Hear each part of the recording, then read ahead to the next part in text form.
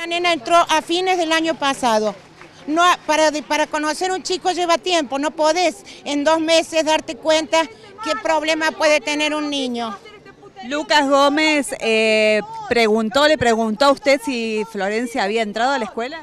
No entró a la escuela. Por eso, pero el- algún familiar se acercó a preguntar si había entrado. El padre vi el, el padre. Bueno, eso vino a las doce y media a buscar a su hija no, como si nada hubiese sucedido.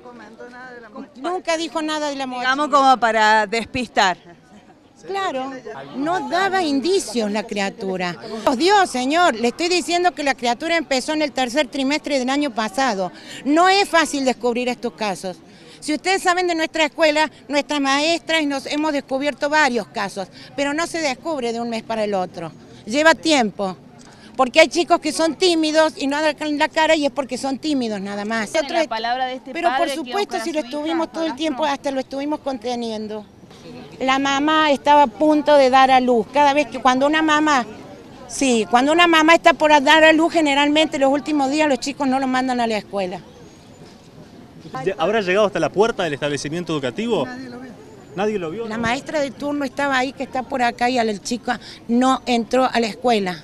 ¿Por qué el padre dice que habló con usted y que una alumna ha dicho de que sí la vio entrar? No, eso miente la madre, eso miente la madre. padre. No, incluso la nena, había una nena que vino y dijo que era compañerita de ella que nunca vio a la nena en la escuela.